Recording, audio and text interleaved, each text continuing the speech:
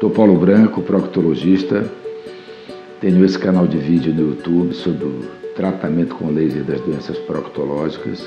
Espero que vocês sejam beneficiados com essas informações feitas com muito carinho para vocês, tá bom? Um abraço. Continuando o nosso papo aqui com o Dr. Paulo Branco, especialista em proctologia, conhecido como proctologista dos gays. E a gente vai falar sobre um assunto que é tabu, que é o sexo anal. É verdade. Tanto nos gays quanto entre as mulheres, que muitas vezes eu sei, o senhor estava me falando em off aqui, que apenas 20% das mulheres, segundo estudos, sentem prazer no sexo anal. 20%, um quinto, 80% faz talvez por obrigação, é isso, doutor? Do casamento, né? Para manter um casamento, para evitar a traição. É verdade, mas a relação, a relação anal, ela é uma relação típica realmente mais característica do homem gay. Não é uma região erógena, uma região sensível, não é?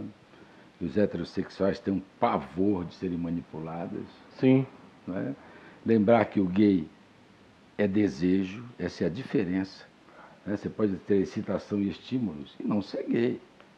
Não tem nada a ver. O desejo, você gostar de uma pessoa do mesmo sexo é que te define como gay. Né? Mas esse estudo mostrou realmente que as mulheres, e a principal razão das mulheres não fazerem sexo anal é a dor na relação. E o que, que causa a dor na relação sexual anal? O que dói? Primeiro, eh, lembrar ao passivo que ele deve ter o controle da penetração no início da relação. O ativo não está preocupado com o teu ânus. Ele está preocupado com a penetração. Tá. Então, as regras são que você tenha um bom relaxamento e uma boa lubrificação. Né? Um bom relaxamento anal, já falei que o esfíncter leva cerca de 2 a 3 minutos massageado para poder relaxar e você ter a penetração. E lembrar que se você não tem essa, esse relaxamento, você expõe mais a doenças, expõe mais a traumatismos. Né? E quem dói é o músculo que está em volta do ânus. É ele quem dói. E a musculatura que está em volta do ânus não está sob o teu controle cerebral, chamada músculo liso, que nem o coração. Você contrai o coração? Não. Então a contração dele é involuntária.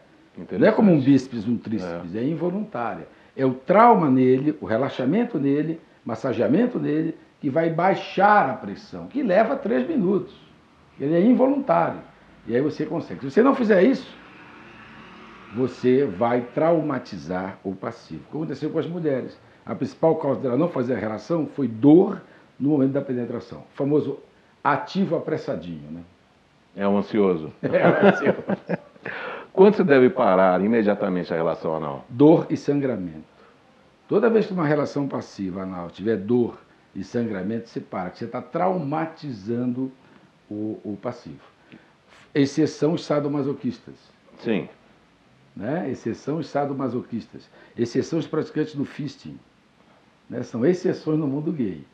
Mas, e é uma minoria, né? É a minoria. Mas a dor e o sangramento para, se, pode esperar uns 10 minutos, melhorar a lubrificação. Se continuar com dor e sangramento, para, consulta um proctologista, é melhor.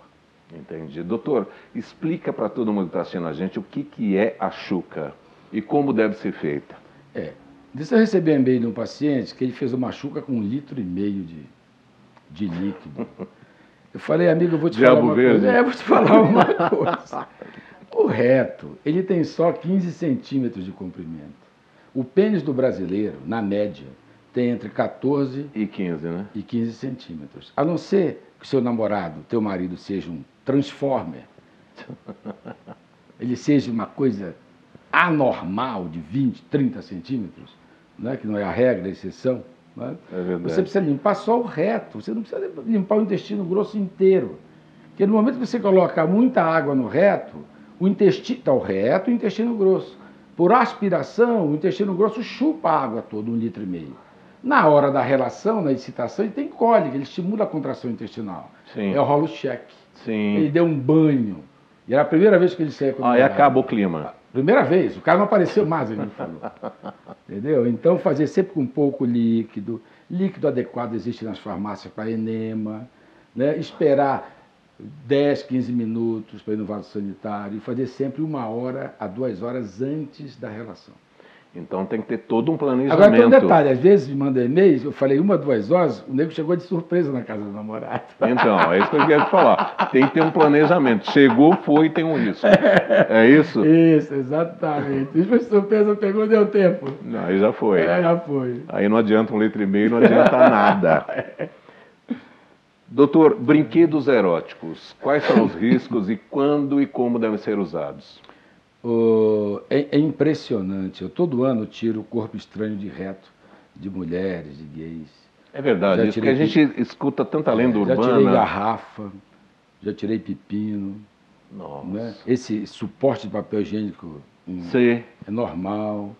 O cara tem tesão pelo suporte de papel higiênico, se masturba ele é aspirado pro reto. Isso tem a ver com o músculo que você falou Não, anteriormente? tem- não, não, repara bem, ele coloca o que é possível de passar pela abertura. E aí só que ele não sabe que o reto aspira tudo para dentro. Entendi. Aí, o suporte já está dentro do reto. Então não façam isso. Eu já tive paciente que morreu por peritonite. O paciente introduziu um cabo de vassoura quebrado. Ele perfurou o colo e o intestino grosso. Eu cheguei, eu operei esse paciente, tirei, a, abri a barriga do paciente. Nossa. É, tirei o cabo de vassoura. Porque você não mexe. Você opera, e você não sabe para onde está. Está numa horta, você vai, fura, acabou, morre na hora. Exatamente. Esse paciente não morreu. Mas você não mexe. Leva sala de cirurgia, cirurgia geral, abre e vê o que aconteceu. Aí você tira o corpo estranho. Entendeu? E brinquedos de sex shop? É, o brinquedo erótico hoje tem até com GPS. Até com detector de multa existe. nas Até com Waze. Até com Waze existe. Não tem como errar. Entendi. Não tem como errar. Mas brinquedo erótico sempre de silicone, sempre macio, sempre com base, né? uma haste na base, para evitar que ele seja aspirado. Não é? A ponta romba, simulando uma glande. Tá. Nunca pontudo, nunca pontiagudo, nunca cortante. Não é? Sempre rombo, uma boa lubrificação. E não, e não divida brinquedo erótico. O brinquedo erótico é seu. Já tive um paciente que pegou a DST por brinquedo erótico. Sim. Bactérias, vírus. Mais de 10 pacientes. Então não compartilhe o brinquedo erótico. Principalmente quero chamar a atenção que os últimos cinco casos foram das lésbicas. Olha aí. Lésbicas. Ó, lésbica, guarda o teu brinquedo, ele é só teu. E quando for usar, camisinha. É, sempre, sempre, todo cuidado. Você havia falado do fist fucking. Quais são os riscos? Que eu acho uma coisa extremamente perigosa e agressiva. Qual o risco da pessoa? Eu sei que sex shop hoje, só para vocês terem ideia, recebi um material de um sex shop que vende um braço vibratório, que é para as pessoas que praticam o fist fucking. Quais são os riscos dessa, dessa, dessa, desse tipo de penetração? Eu já dei uma aula, uma não, dei algumas aulas sobre fisting.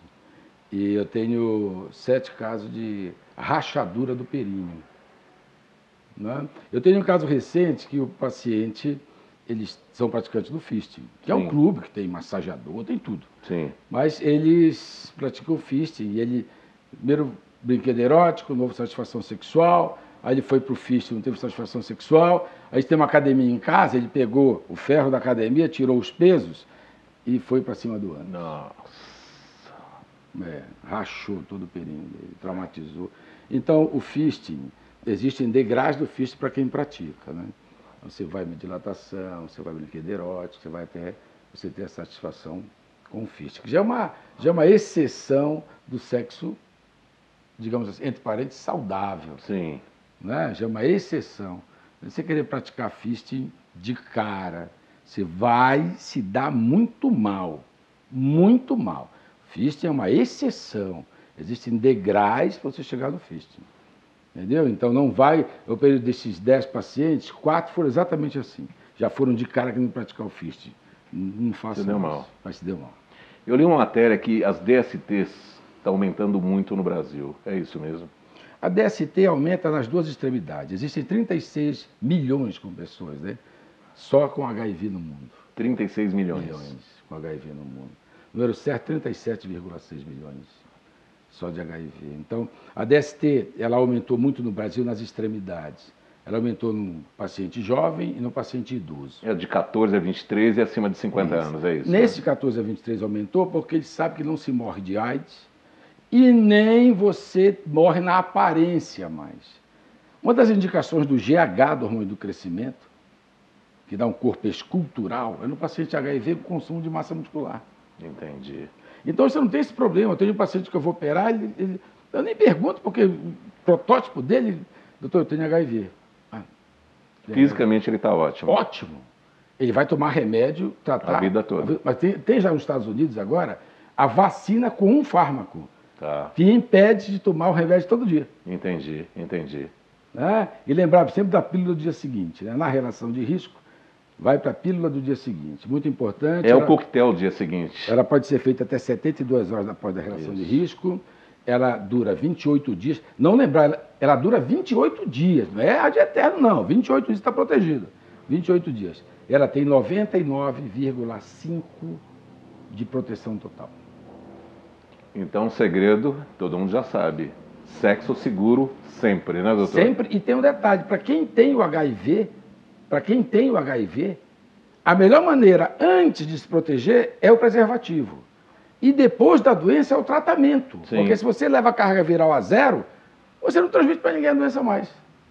Entendi. Mas mesmo assim, camisinha sempre para não correr risco. É, Doutor Paulo, super obrigado. Tirou todas as dúvidas. Obrigado mais uma vez. Roberto, pelas informações que as pessoas possam acrescentar no dia a dia para ter uma vida saudável e sem risco. Tá bom? É isso aí. Dúvida, sempre que você tiver, consulte um especialista. Não vai ouvindo, não vai arriscando, porque sua saúde vale ouro. Doutor Paulo está aqui. Obrigado.